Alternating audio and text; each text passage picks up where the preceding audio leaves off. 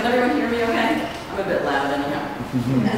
Yeah? Well, I'm Rachelle Krieger, and I'd like to thank everybody for coming out on this beautiful day and being at the talk today. And a big thank you to the Heckscher Museum um, for this beautiful opportunity and for supporting local artists. Um, I'm very honored to be part of this beautiful exhibit. Next slide. Okay. So I'm going to begin my talk by answering the most commonly asked question, which is, how long did it take you to paint that? My reply is consistently, the number of years I've been alive. In my talk today, sorry, I'm going to, I have a little technical difficulty here. In my talk today, I'm going to try and show you how all past experience and work continuous flow that leads up to my most recent work. I will also show how writing has been a large part of my process. One of my first writings about my work is from 1991. It still does a good job of explaining my paintings. I'm going to pause for a second and read it. it is visual poetry. It is a spiritual search, a break from what we are told is reality. It is freedom. It is the abandonment of the object, the embracing of space. It is the wonder of a child, it is the translation of nature reflected through the soul. It is energy and movement. It is joy and pain and life. It is spirit. It is. That was written in 1991 and it still kind of holds true. Um, my paintings over the past 30 years have mostly been in series. I'm going to give a very brief rundown of some of my past series so you can see how they're all painted um, to get me to the current Rocks and Rays. Uh, one of my first series of paintings was the Switzerland series. I also take a lot of photographs. That was one of my photographs.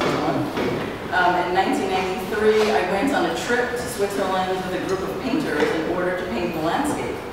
After doing many oil sketches and watercolors on location, I brought the sketches back to my studio and worked them into larger oil paintings.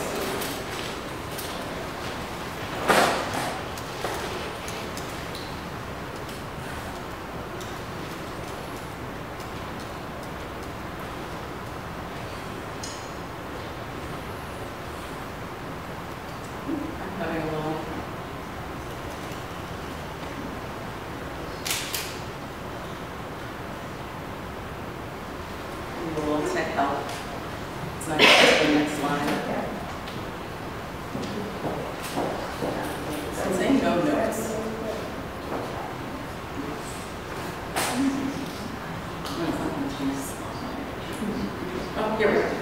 Okay. My second series was the Dream Series in 1994. In this photo, I'm sitting among sculptures by Louise Nevelson, and my painting is hanging behind me. Uh, the source for inspiration for this series came from dreams that came in the form of very powerful images. I was drawn to painting the dreams in abstract, bold images. This is when I also started exhibiting my work in New York.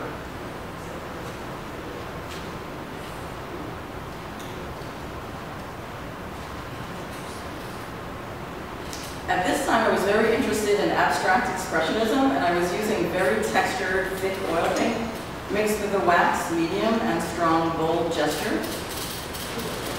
Inspiration was mostly from the New York School of Abstract Expressionist painters, such as Franz Kline.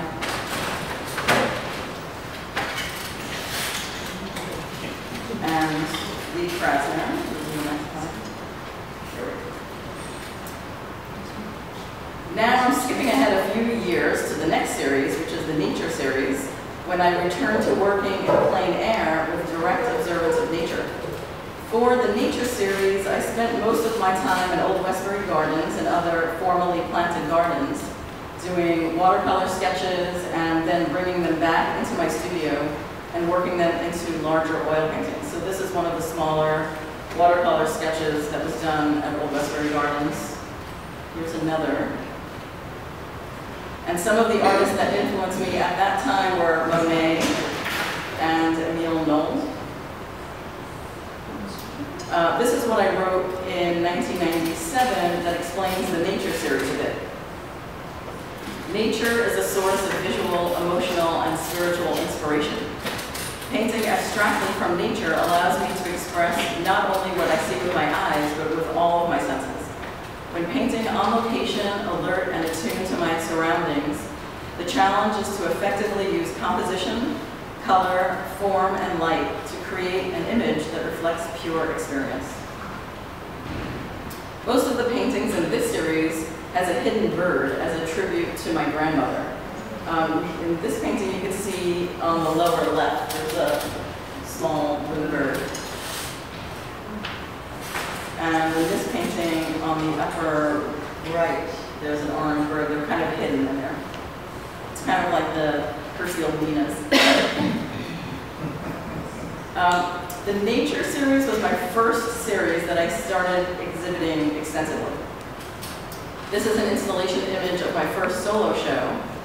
Towards the end of the Nature series, I wasn't as interested in formally planted gardens anymore, and I became very drawn to painting in untouched preserve land. Um, I wanted more of a wild, brambly um, landscape after this series, which was more structured. And so this new interest brought me to painting in um, nature preserves all throughout Long Island.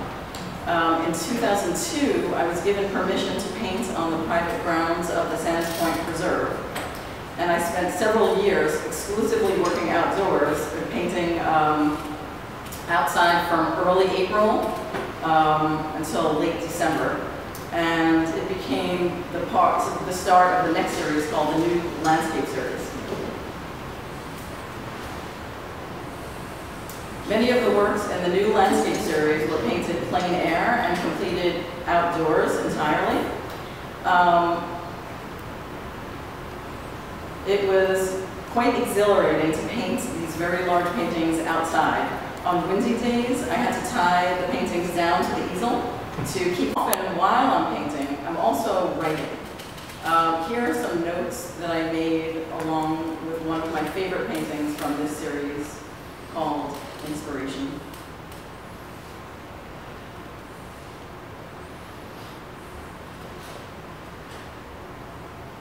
Uh, that favorite painting is now installed at the Westin Hotel in New Orleans, one of my favorite cities.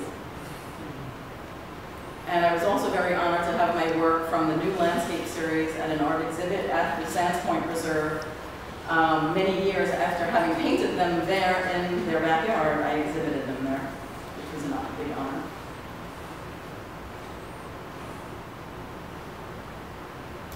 Towards the end of the new landscape series, I started to focus my attention more on the sky through the branches.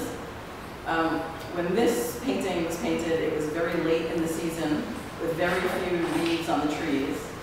Um, this piece was exhibited at the first biennial at the Heckscher Museum. And um, this is one of the paintings that led me into my next series. Uh, the next series was called Solid Air Series. At that time, I started to focus my attention more on the sky and weather patterns and started painting down by the water.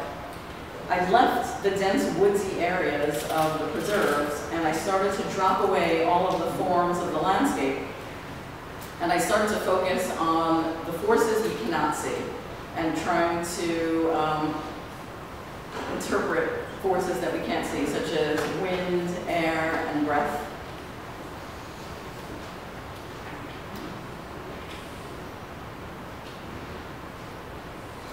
And um, again, I did a lot of writing while painting. Um, this is one of the first oil paintings in the Solid Air series.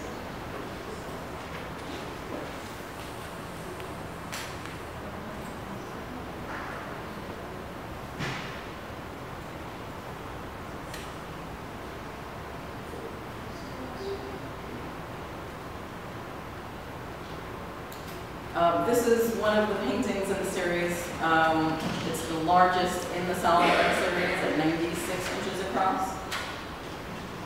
It's pretty thickly textured also.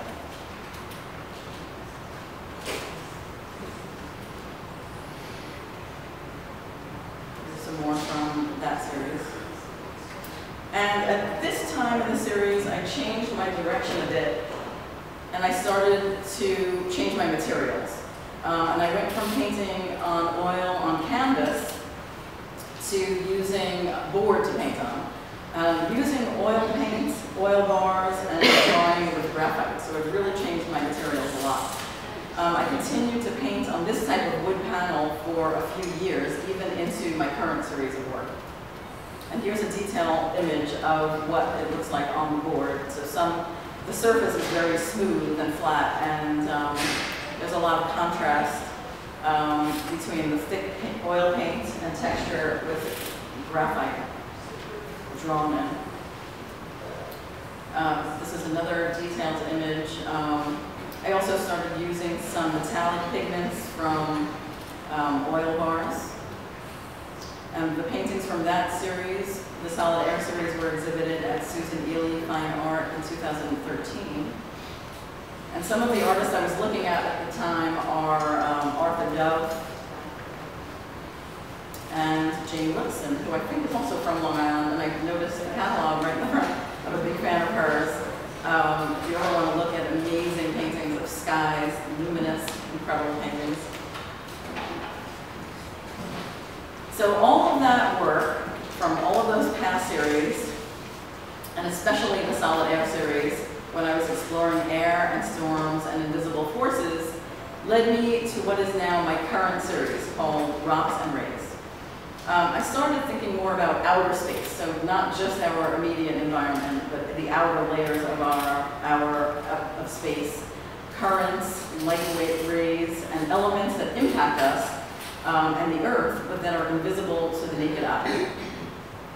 And again, I have notes that I'm writing constantly. Um, these are some of the earliest notes and paintings from the Rocks and Rays series in 2012 when I was first starting to form all of my thoughts around the series.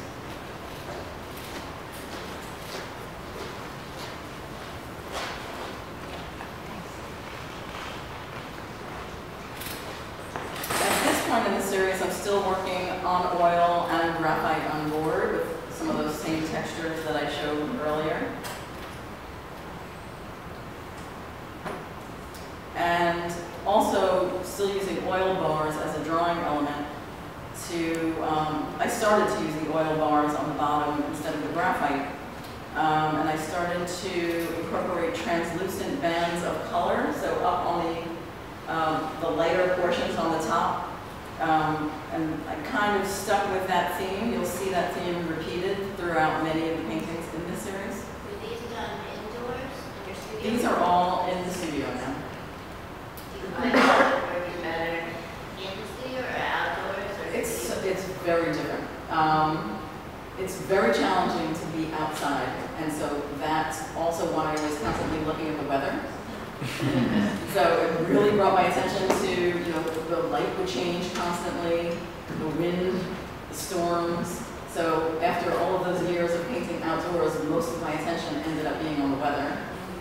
Um, just practical reasons, and then, um, so it's different. But I do enjoy painting outside occasionally still, as you know, part of something separate.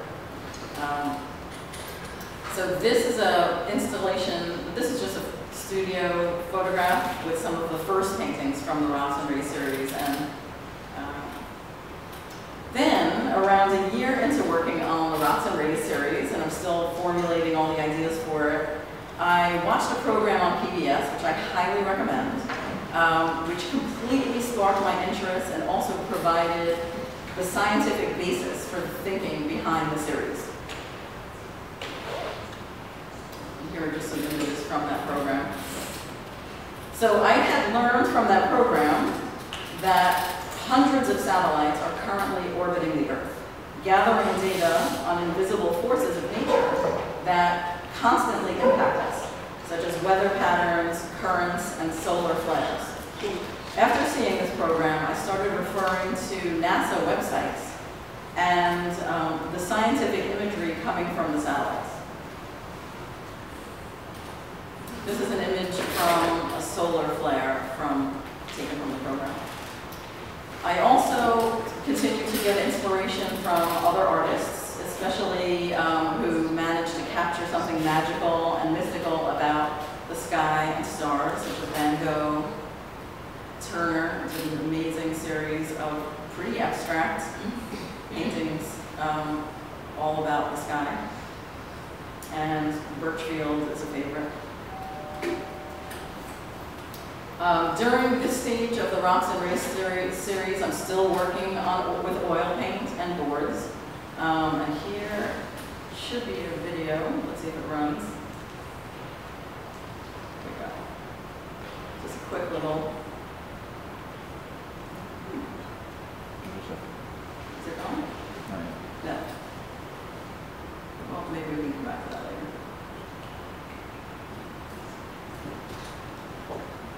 That should show some process.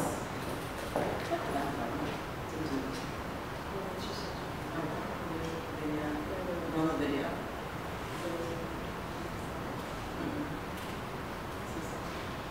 It's all right. We'll skip the video. Okay, let's see if it starts.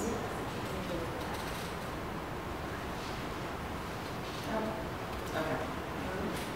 Didn't work. All right. Well, we have some animation. If we stick around at the end, maybe we can add them in. Um, so this is where I'm still working on um, oil on board.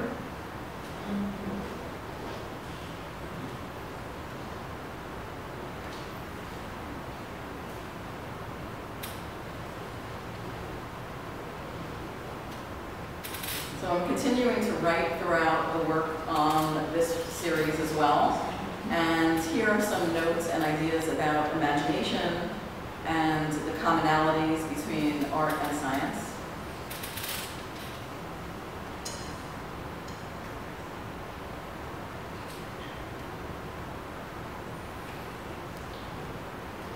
So after a couple of years of working on the Rocks and Rays series, I discovered a new material, raw linen, as a painting surface.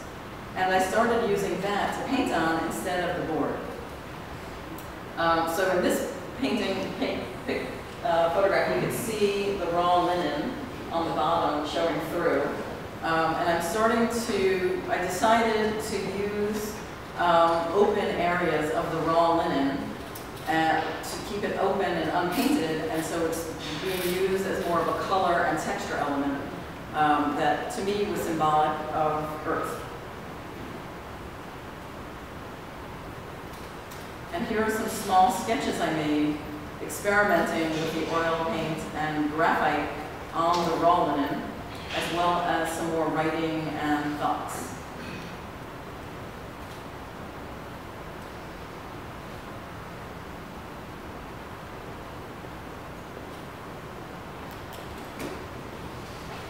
And this is one of the first larger oil paintings on the raw linen.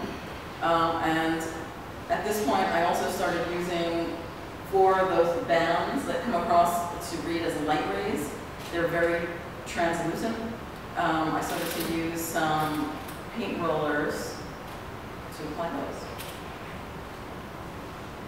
Um, so the change in materials, I, because of the change in the materials, I was forced to change my approach to the canvas um, and how I was applying.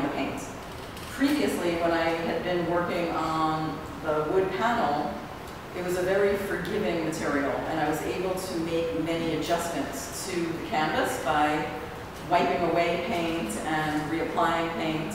And with this work on the raw linen, I wanted very thin, translucent layers and not a built-up surface at all. I wanted no inlay, and the lines are drawn with metallic oil and paint bars. And this is a photo of my studio in 2015 with, with some of the earlier paintings in the Rocks and Rays series. Um, the larger paintings on the left are on wood panel, and on the floor is the start of some of the paintings on paper, and on the wall all the way to the right are the first small paintings um, on raw linen.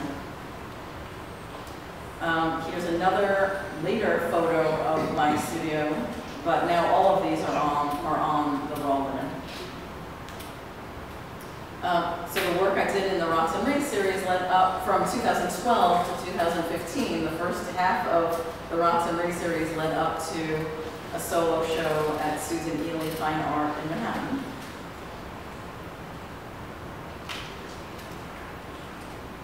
Um, So right after that exhibit, I got back in the studio and started working on my largest painting to date.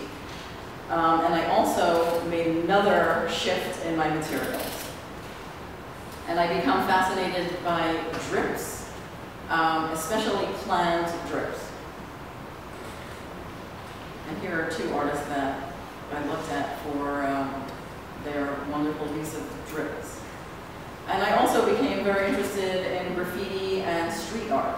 Um, and I started using fluid graffiti acrylics in my paintings. And this photo, I'm preparing paper with a very textured surface, um, the same process that was used for the painting here in the biennial show. And that brings me to 2016, when Rocks and Rays 13 was painted, the painting in this. Um, I started incorporating the use of planned and calculated paint drips. Um, this is another video clip, but we could play that at the end if we have some time.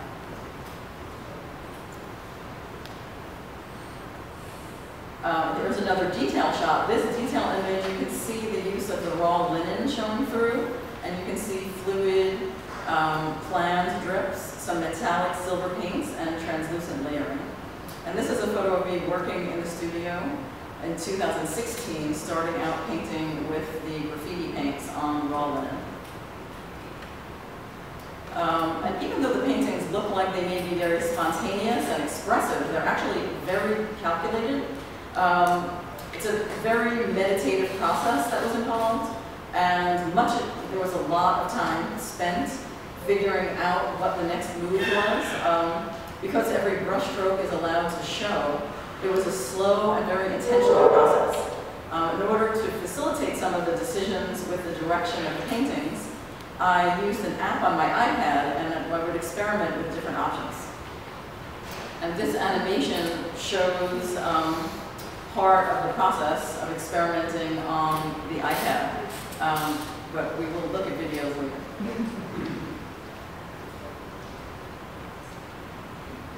This is another painting that I had worked on on the iPad in order to make decisions, and another um, video of the iPad rendering.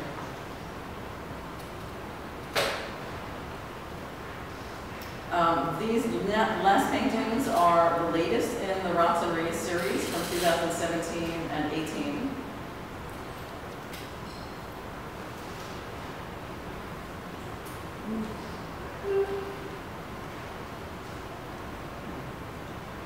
And in this detailed image of that last painting, you can see raw linen showing through, the controlled drips um, alluding to electricity, um, brushwork that refers to trees, and very translucent paint where again every mark is showing through. And this is one of my most recent paintings in the Rays series from 2018. And here's a photo of my studio filled with work as it was about to get wrapped up and shipped off to my gallery show this past spring. I had a show at Susan Eley Fine Art that featured 25 paintings from the Rays series. Here are some more photos of the show. And that brings me to what I'm doing now. So this summer, I changed things up again. I always like to change my materials. And I started doing some printmaking at a printing studio in Brooklyn. This is me making monotype prints. And here's one of the monotype prints I made at um, 10 Grand Press this summer. And I started prepping for some small paintings, working back again on board. So it was a material that I had been working with for a long time, and I'm also go- going back to using that. And I'm getting ready to do some more very large paintings on raw linen. And um, we'll see where that one leads me. So it was um, a pleasure to speak with you today, and you've been wonderful, and I'm just very happy to have had this opportunity to share my process with you. Thank you very much.